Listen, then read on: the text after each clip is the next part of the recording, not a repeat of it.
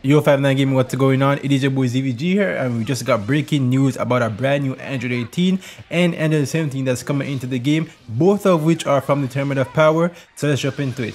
First things first, Android 18, boosts in damage inflicted and lowers strike arts cost when she enters the battlefield. Her damage inflicted rises when she uses an arts card.